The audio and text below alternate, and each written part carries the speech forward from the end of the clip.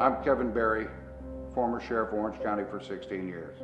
Ladies and gentlemen, it's time to take a stand and bring back real police leadership to the Orange County Sheriff's Office. It's time to bring back integrity. It's time to do something to support our violent crime victims.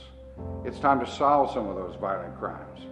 It's also time to bring back community based programs that take care of our kids and give them the alternatives instead of always getting them into trouble. Folks, that's what, what I did for 16 years. Joe Lopez understands that, and that's the kind of leadership we need. I personally am tired of all the politically correct leadership today. You don't need to take a knee. You need to stand up and be counted and do what's right for the citizens of this community.